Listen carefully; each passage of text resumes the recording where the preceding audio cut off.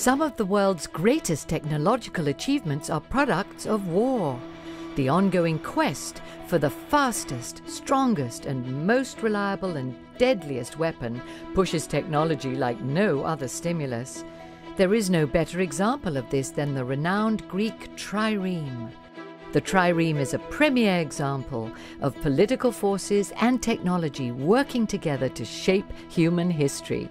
The Greek trireme is one of the most historic pieces of watercraft in the entire history of the human race. You got big ships, you got hundreds of men, you got big chunks of bronze, you got ships crashing into one another, what's not to like? We find the Greek trireme in the 5th century BC, a time when the Achaemenid Empire, or the First Persian Empire, is one of the largest empires the world has ever seen. The 5th century BC is when our world broke into East versus West. And it happened because Persians, led by a series of great kings who were also great conquerors, decided to add a distant land called Greece to their empire. For the Athenians, protecting their young democracy is crucial.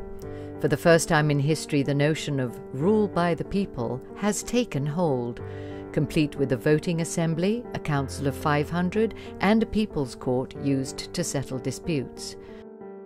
The Greek trireme finds its origin on the famous hill called the Pnyx in the center of Athens, where the assembly meets. On this particular day, the discussion involves what to do with the newly acquired wealth from a state owned silver mine. The general consensus is to distribute it among the citizens, but the story changes when the great leader Themistocles stands before the crowd. Themistocles took the stand in the open air assembly place up on the hilltop and said, I believe that plan is wrong. We should keep that money together. We should devote it to something that will benefit all of us. We should build ships. We should build warships called triremes. The Athenian assembly votes in support of Themistocles' plan and begins building the most high tech weapon of the day what makes the Athenians so memorable as far as triremes are concerned? Over the period of the 5th century, they came up with a design which maximized the variables. And the end result was described for us, as I said, by Thucydides, and we see that the result was astounding. Historians trace the original concept behind the trireme to the Corinthians or to the Phoenicians.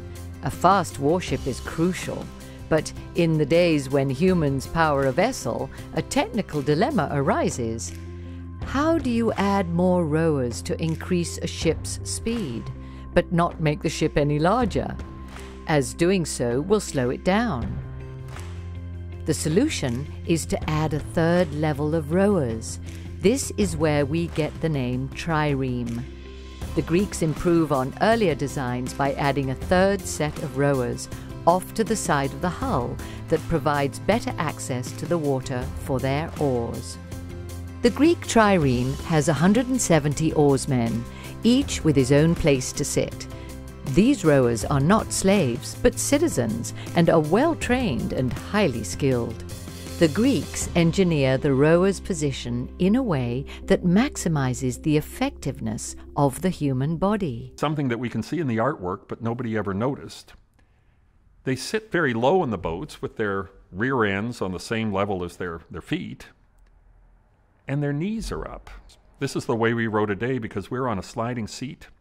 And from an engineering point of view, you double your effectiveness as a rower if you can get the big muscles of the legs, the extensor muscles, into the thrust. In addition to the 170 oarsmen, there are 30 regular crew members, which include sailors, officers, soldiers, and archers. The trireme's captain is the trierarch.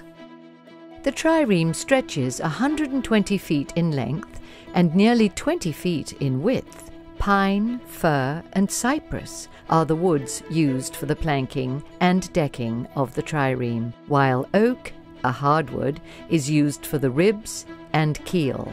The triremes are light and can achieve speeds of 6 to 8 knots. With a bronze sheath on its nose, the trireme becomes a deadly ram, feared by its enemies.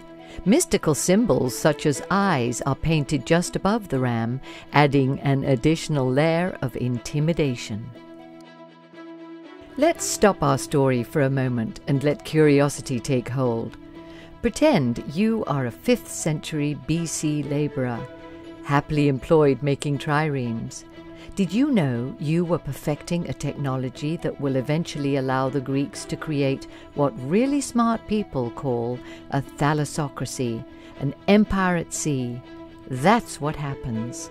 With their newly built triremes, the Greeks ultimately dominate the waters of their world.